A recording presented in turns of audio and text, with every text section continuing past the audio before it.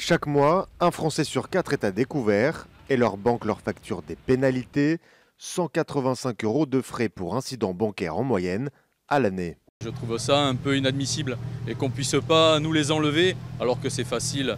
La banque devrait euh, agir autrement, le prévenir pour éviter ça et puis euh, surtout aussi bien sûr réduire ses frais. Aucun chiffre officiel n'existe et les banques préfèrent rester discrètes sur le sujet. Mais les pénalités facturées aux Français dans le rouge ont explosé.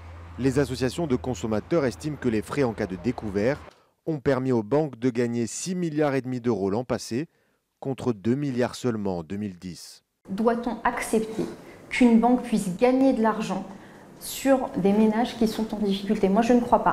Actuellement, les banques peuvent vous facturer chaque mois jusqu'à 50 euros pour un chèque non approvisionné, 20 euros pour un prélèvement rejeté, 80 euros pour tous les achats par carte bancaire refusés, et ces frais se cumulent.